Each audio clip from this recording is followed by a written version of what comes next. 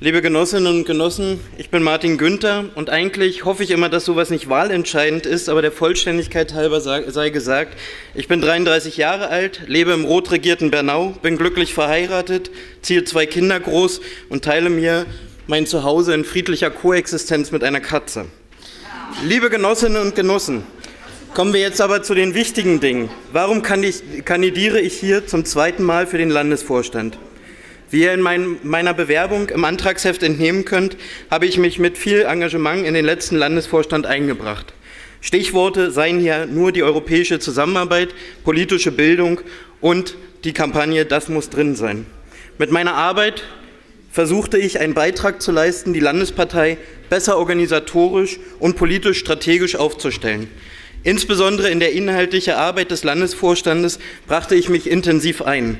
Zugegeben, nicht immer zur uneingeschränkten Freude meiner Mitgenossinnen im Landesvorstand.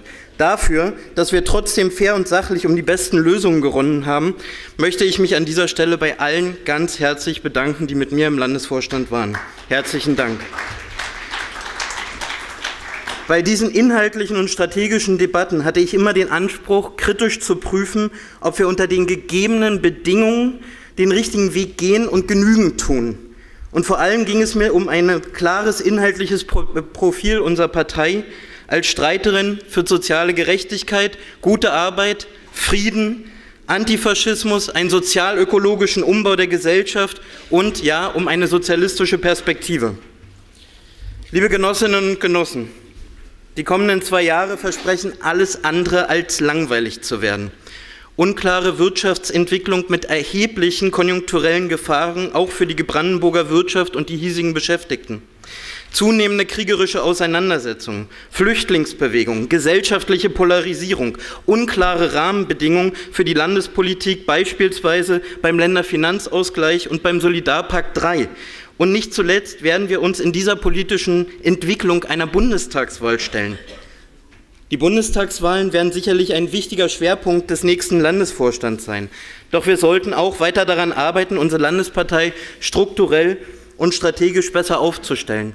Ein wichtiger Punkt wird dabei sein, dass wir uns auch über die Zeit nach 2019, also das Auslaufen dieser Landtagswahlperiode, Gedanken machen. Wir müssen in den kommenden zwei Jahren intensiver überprüfen, wo unsere politischen Projekte stehen wo und wie wir politische Projekte weiterentwickeln müssen und ob wir nicht auch neue politische Projekte brauchen.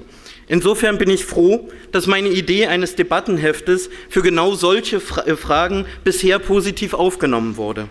inhaltlich möchte ich mich dabei neben meiner europäischen und internationalistischen Ausrichtung verstärkt um wirtschafts- und beschäftigungspolitische Debatten bemühen. Wer schon mal mit mir zu tun hatte, weiß, dass ich dafür eine gewisse Leidenschaft habe. Stellen wir uns den bestehenden und kommenden Herausforderungen. Dazu möchte ich weiterhin einen Anteil im Landesvorstand leisten. Dafür bitte ich um euer Vertrauen und eure Unterstützung. Danke für eure Aufmerksamkeit.